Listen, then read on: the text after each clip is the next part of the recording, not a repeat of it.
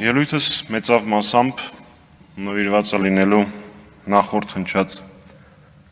իշխանական պատգամավորների խոսքերին։ Սկսենք Տիկին Ջուլհակյանից։ Տիկին Ջուլհակյան, ըստ ձեզ 18 թվականին մարդիկ դուրս էին եկել համակարգի դեմ։ Թվարկենք համակարգի որոշ մասնիկներին։ Մուկուչյան Տիգրան, Խաչատրյան Սասուն, Տավցյան Արտուր, բայց որ համակարգի դեմ էին դուրս եկել։ Բայց ո՞նց ստացվեց, որ այդ համակարգի հիմնասյուները, կարևորագույն պաշտոնները զբաղեցնող մարդիկ մնացին ամփոփող համակարգի ինչքան գիտեմ, տեղից արձագանքելու իրավունք չունենք։ Հետո խոսեցին արյունոտ ձերքերից։ Մի արեք այդ արտահայտությունը ժողովուրդ առնվազն են մարդիկ, ովքեր պատերազմի ընթացքում անկազմակերպվածությունը, մոբի կազմակերպումը, ապահովման կազմակերպությունը, ողջ լոգիստիկան տեսել են, երբեք թույլ չեն տա, որ դուք խոսեք արյունոտ կամ ոչ արյունոտ ձեռքերից։ Նոր խոսում եք կեղծված ընտրությունների մասին, պարոն Հովակիմյան։ Այդ ո՞նց է ստացվել, որ ձեր քաղաքական առաջնորդը կանգնել էր ընտրություններ կեղծող առաջին նախագահ Լևոն Հակոբ Պիտերպետրոսյանի կողքին իմպիչմենտ դաշինքի շրջանակներում։ Հələ այդ բան չի, նաև падգամավոր էր այնտեղ նստած իր կոնգրեսով։ Իսկ այդ ո՞նց է ստացվում, որ մի քանի 100 հազար ձայն պակաս ստացալ ստանալու դեպքում, որը նաև ձեր աշխատանքի գնահատականն է, ձեր մանդատը հանգարցակի թավիշից դառնում է պողպատ։ Գիտեք, իշխանապողությունից հետո մի սենց սկզբից կեսկատակ, հետո արդեն բավական լուրջ արտահայտություն կար։ Բա սրա համար էինք պայքարում։ Եկեք մի հատ թվարկենք ինչի համար էինք պայքարում։ Դալիճում ներկա չի Վիլեն Գաբրիելյանը, որ այն ժամանակ հայտնի էր Facebook-ում որպես նավակ ճոճող։ Վիլեն Գաբրիելյանը պայքարում էր նրա համար, որ հիմա իշխանությունների վերաբերյալ ստատուս գրելը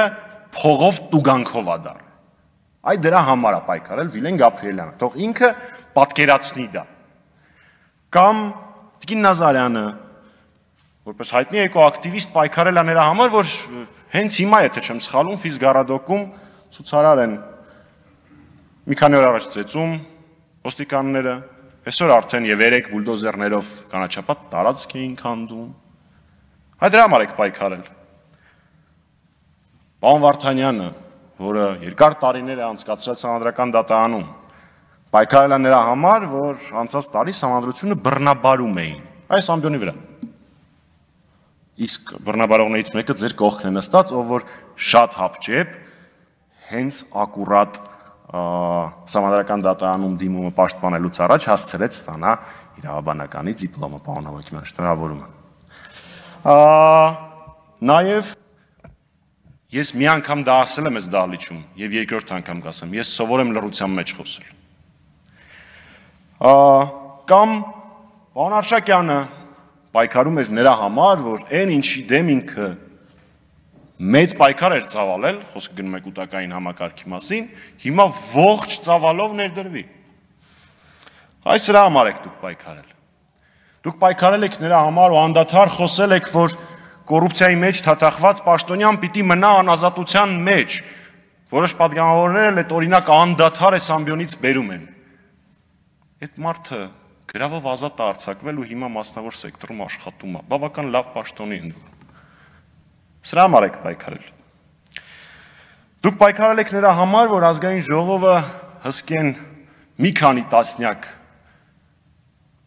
զինվորականներ, սպեցի տղերք, իսկ մեր սահմանները չհսկվեն։ Ու ճշնամին գա մտնի այդտեղ մեր հողում։ Դուք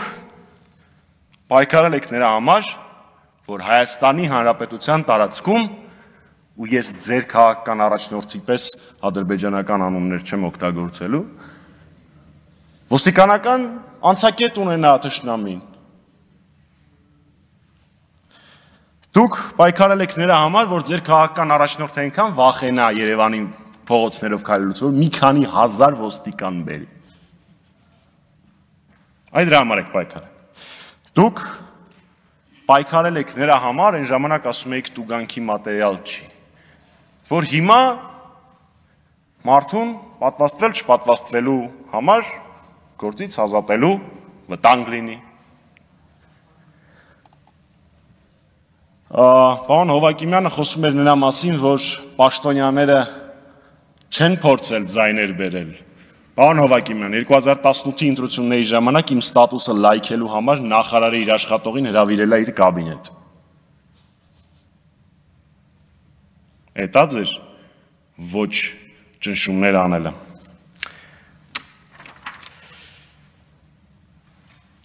Դուք խոսում եք հարկային terror չլինելու տնտեսվարող սուբյեկտների նկատմամբ ազատության մասին, բայց բոլորը գիտեն, որ մեր հետ համախոհ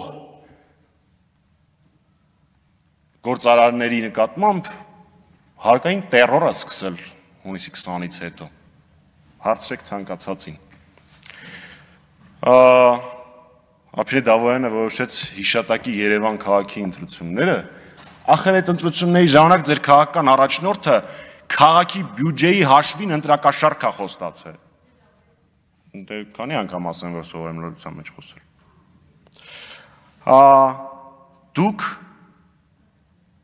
խոսում եք ընտրությունների մասին հիմա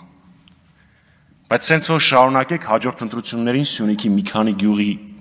բնակիչներ վիզայով են ընտրություններին մասնակցելու ու մի հատ էլ խորհուրդ ոնց հասկացա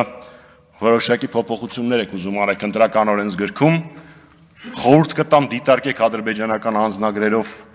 մարդկանց թույլ տալ քվեարկելը այնտեղ ձեր առաջնորդը ահագին ձայն ունի